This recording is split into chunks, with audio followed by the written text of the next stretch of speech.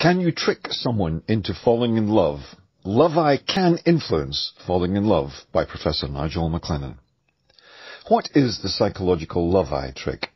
It is the notion that by using your eyes in a certain way, you can make someone fall in love with you. If you have ever fallen in love with a movie star, you know that some exceptional people can act, that is, fake, in a way to set your passions running. Is it wise to trick someone into falling in love with you in real life? Is it ethical? Is it an act of emotional abuse? You decide after knowing this. It is a behavior pattern of con artists, sociopaths, and psychopaths. Note of caution. No ethical or reasonable person would seek to trick someone into thinking they were loved People do not want to feel used and certainly don't want to feel tricked. If you want to find deep and lasting love, seeking to trick someone into thinking they are loved is not a good start. Love has ethics. Breach them at your peril.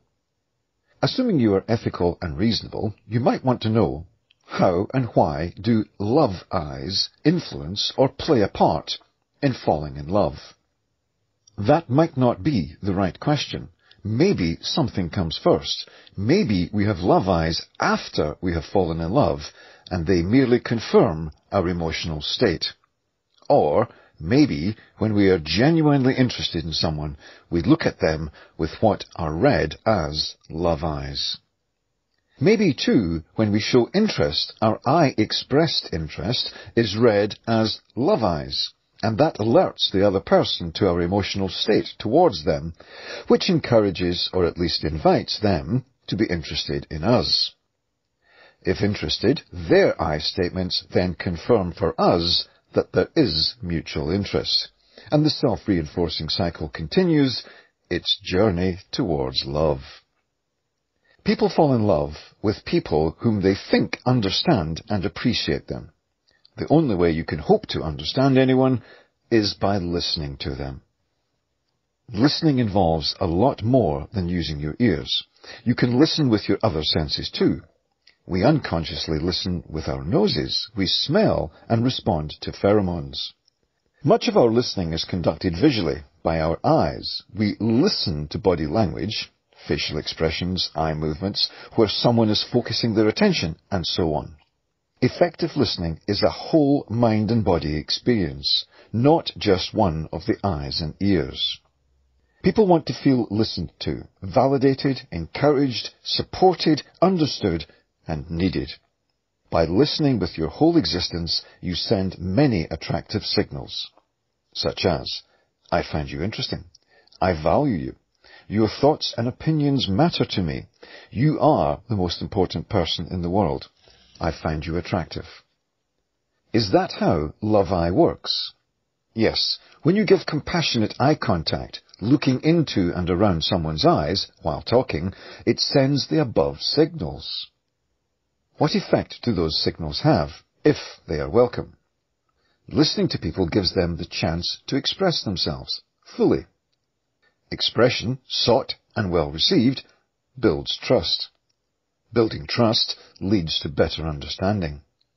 Enhanced understanding leads to respect and appreciation. All are on a trajectory towards love, or at least mutual liking and admiration. How does that work? Since we can't even define consciousness or understand how one consciousness can impact another through communication, it will be a long time before we can give an accurate answer to that question. For now, we have to rely on observations to explain what is going on. Here are some near universal observations to develop our understanding. We listen to people who listen to us. We seek to understand people who seek to understand us. We trust people we understand and who trust and understand us. We respect and appreciate people who respect and appreciate us. By starting the listening cycle, we make reciprocation possible, and that makes mutual appreciation and more possible. If Love Eyes is really about sending the signals of listening, what do people who fall in love listen for? No one thing in particular, but understanding in total. What are the person's interests? What are their hobbies? What are their passions? What are their opinions, thoughts, values, beliefs, likes and dislikes? When people feel that someone is really listening to them, really trying to understand, they tend to start opening up. When their emotionally risky self-disclosure is met with rewarding feedback, they tend to open up even more. As you will have no doubt experienced, most people are terrible listeners. When we stumble across an excellent listener, that person really stands out by virtue of their rarity. Excellent listeners are rewarding listeners.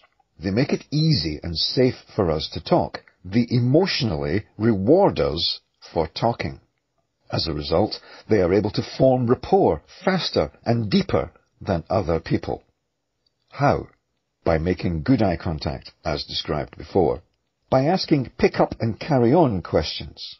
When we raise a topic, the rewarding listener picks it up and asks questions to encourage us to carry on with the topic. Most of us find that rewarding. It tells us that they are listening and trying to understand. By giving us appropriate praise, when they spot something they genuinely appreciate about us, or in what we express, and they show their appreciation, we feel rewarded. This is where the love-eye trick seems to have originated. Presumably some manipulative people thought by the use of the eyes alone it is possible to make someone fall in love. Let's test that theory. If someone gives you love eyes, but doesn't seem to follow what you're saying, will you be impressed? No. If someone follows what you're saying while giving you love eye, but doesn't ask you any questions, will you be impressed? No. If someone follows what you're saying while giving you love eye, asks questions about what you're saying, and then changes the subject after each time you have answered, will you be impressed? No. Why? Because it takes a lot more than love eye to form rapport, and much more than that to fall in love. Does love eye work on its own? Very unlikely. Can good and appreciative eye contact help with rapport formation? Yes, most definitely.